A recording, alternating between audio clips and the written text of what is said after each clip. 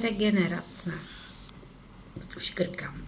Navazuji vztah s mojí pohybovou soustavou, s kostní tkání, s kostní dření, s okosticí, s chrupavkou a svazy. Nabírám z kvantového pole energii a vkládám ji do své pohybové soustavy. Navazuji vztah s mým éterickým tělem. Harmonizuji ho. Harmonizuji moje éterické tělo. Navazuji vztah s aurou, která souvisí s daným tématem v mé pohybové soustavě. Prosím o doplnění energie ze země a z vesmíru do té části aury, která souvisí, která rezonuje s tématem v mé pohybové soustavě. Prosím zestupný proud a sestupný proud, aby v auře uzdravil a zcelil tu část, která souvisí s mým tématem pohybové soustavy. V éterickém těle můžete dělat malé spirálky a nebo nekonečno, čili ležatou osmičku, to znamená Saturna na ležato, zákon na ležato, změna zákona, změna pravidel, změna tvrdosti.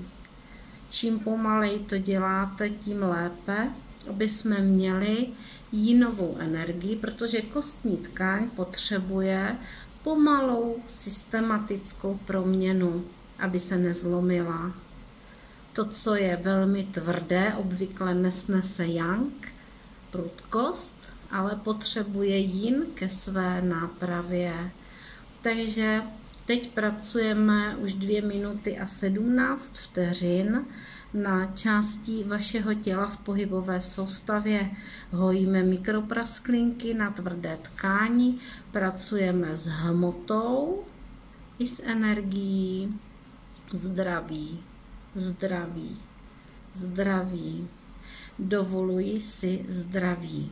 Samozřejmě s touto technikou potom přichází emoce. Ty emoce, které způsobily disharmonii a ta způsobila nemoc nebo poruchu zdraví v daném tématu. Takže dovoluji si přijmout emoce, přijmout myšlenky a přijmout vzpomínky, zpracovat je, ty vzpomínky, ty záležitosti emoční a myšlenkové, ty události, které způsobily odchylku od zdraví na určité části těla.